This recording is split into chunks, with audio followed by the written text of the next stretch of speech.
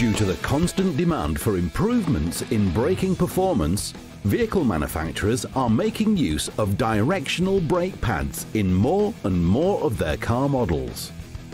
If directional brake pads are fitted incorrectly, you may experience brake noise and uneven or excessive brake pad wear.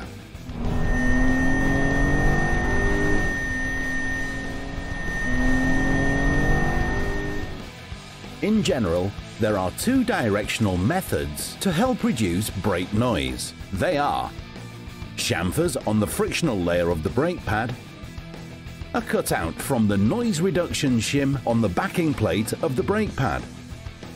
Both of these help to introduce the brake pad to the disc at an angle which will avoid brake noise. Most of the directional pads are equipped with an arrow to indicate the rotational direction of the brake disc or a letter to indicate which side of the car to fit the brake pad.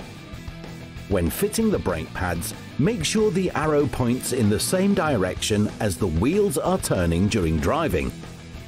When the letter R is used, the brake pad should be fitted to the right-hand side. When an L is used, fit to the left-hand side.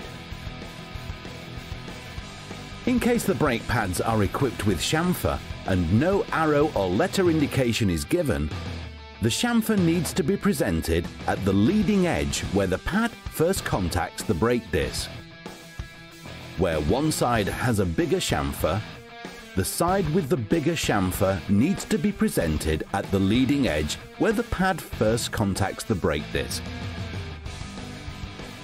Where the brake pad has a crescent or half moon cutout from the noise reduction shim and no arrow or letter is visible, the crescent or half moon needs to be presented at the leading edge where the pad first contacts the brake disc.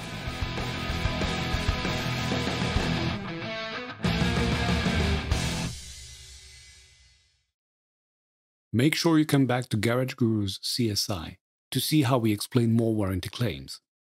We are Garage Gurus. Join our community, follow us on social media. Thanks for watching this video. The video description contains all the relevant links. Don't hesitate to like, subscribe, and be notified when we post new content.